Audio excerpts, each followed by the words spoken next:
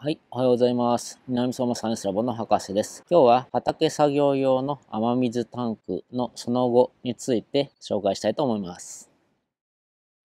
現在、南相馬サイエンスラボでは、こちらにあるサイエンスラボの田んぼと、その隣にあるサイエンスラボの畑を舞台にして、親子農業職域教室をこれまでおよそ35回繰り返し開催してきました。え田んぼに関しては、これまでも何度かお米作りに関する動画をアップロードしてきましたが、非常に面白いものです。こちらは平成28年の秋に開墾しまして、これまで繰り返しお米作りを行ってきました。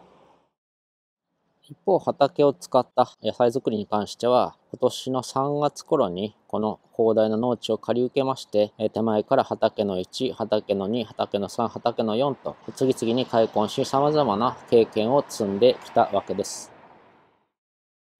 今回紹介するこの畑作業用の雨水タンクその後についてですが、やはりすぐそばで畑作業を行う際には水がどうしても必要になります。このすぐそばの用水路というのは少しまあ離れたところにあるもんですから、畑の近いところに水を確保する必要があったわけです。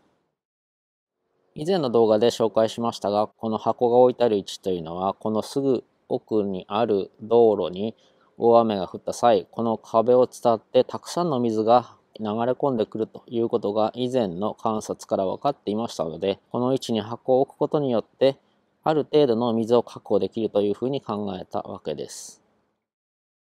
また、それだけではなく、こちらにあるように、パイプを引きまして、奥の方にある湧き水からこの位置まで水を通しているということになります。さらに、パイプを通る水をこの蛇口によって開け閉めすることによって箱に流れ込む水の量を調節することができるようになっているわけです。こちらが一番上流の湧き水が湧いている場所になります。この場所は河岸段丘といいまして、地下を流れている水を崖を切り通すことによっで水を湧き出させているというものです。近くの方にお伺いしましたが、非常に昔からこの水は流れ出ているということだそうです。地下水ですから一年中ほぼ一定の温度となっていまして、おそらくだいたい14度から15度ぐらい、そういった温度で水がいつも湧き出ている場所ということになります。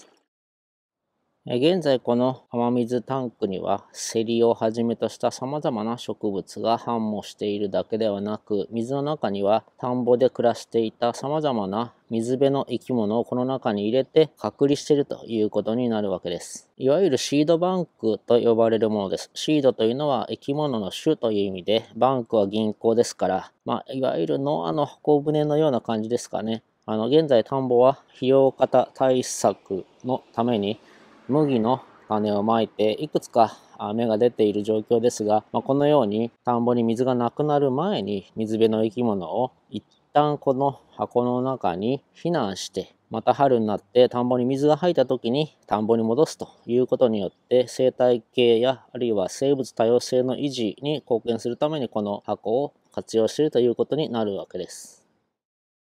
以上紹介してきましたようにこの畑作業用の雨水タンクは野菜への水やりや農機具の洗浄などに活用されています。また、もう一つ大事なこととしては、この中に、田んぼの中に暮らしていたたくさんの生き物の避難場所としての目的が果たされているということになります。え地元の子供たちのためということで、いろいろな農作業をやらせてくださっているオーナーの方、本当にありがとうございます。今後も私たちは、こういった田んぼや畑を生かして、子どもたちやその保護者の皆さんに農業や食育の重要性というものを伝えていく活動を続けていきたいと思っています。